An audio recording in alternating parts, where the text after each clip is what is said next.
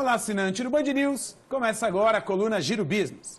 O tema da semana, a indústria de telecomunicações e conosco, João Pedro Flecha de Lima, vice-presidente da Huawei. Huawei, empresa líder global em telecomunicações, prestando serviço de transmissão de dados, infraestrutura e soluções de tecnologia. João Pedro, obrigado, um prazer tê-lo no Giro Business, fala de uma indústria tão importante, da qual o Brasil, de fato, vem aderindo e vem crescendo por conta dessa adesão. Prazer é meu estar aqui para discutir um tema tão fascinante, do qual eu realmente falo com entusiasmo. Como a gente já pôde discutir durante a semana, a indústria de telecomunicações é uma indústria muito dinâmica e o Brasil vem se despontando também neste quesito.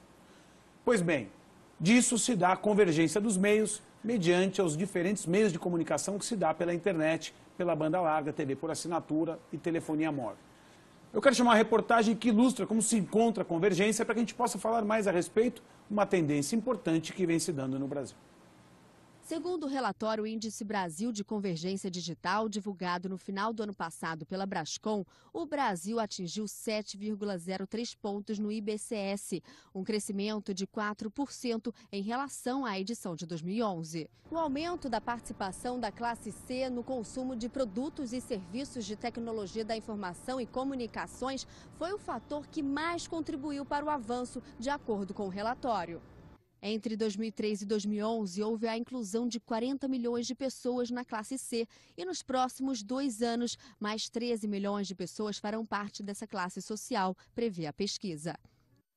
João, analisando a matéria, se percebe que existe de fato uma distribuição de renda mais democrática e, portanto, um aumento no consumo dos meios de comunicação. Isso tende a gerar dois fatores: a mobilidade e a convergência. João, como esses fatores influenciam hoje a vida do consumidor? Bom, hoje a convergência já é uma realidade.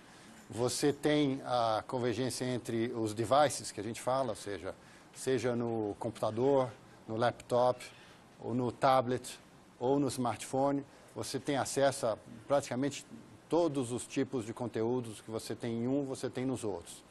E outro conceito importante é o conceito de poder usar esses meios no maior número possível de lugares. Então, as tecnologias Wi-Fi ou os próprios modems 3G, essas coisas, e agora o LTE, quando vier, vão permitir uma utilização é, cada vez mais intensiva desses meios é, de comunicação. João, esse aumento do consumo, essa distribuição de renda que vem permitindo o maior consumo dos brasileiros, somado à facilidade da convergência dos meios, vem promovendo o crescimento da indústria de celulares do Brasil, da qual o Brasil hoje é o quarto maior do mundo, ficando apenas atrás da China, Índia e Estados Unidos. O Brasil vem se desenvolvendo para, quem sabe, um dia poder liderar esse ranking, João? Eu acho que nós temos um potencial extraordinário nessa indústria de telecomunicações. É, nós temos uma vocação natural.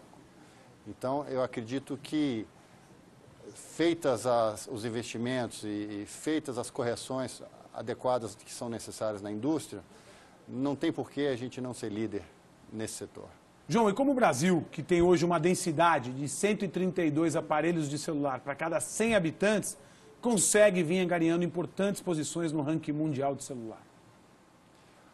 É uma questão cultural nossa, que nós temos é, vontade e dese desejo de falar, nós somos um povo comunicativo, é, e, e também é, pelo que foi feito ao longo desses 15 anos pós-privatização, todos esses investimentos realizados que permitiram a universalização do, do serviço.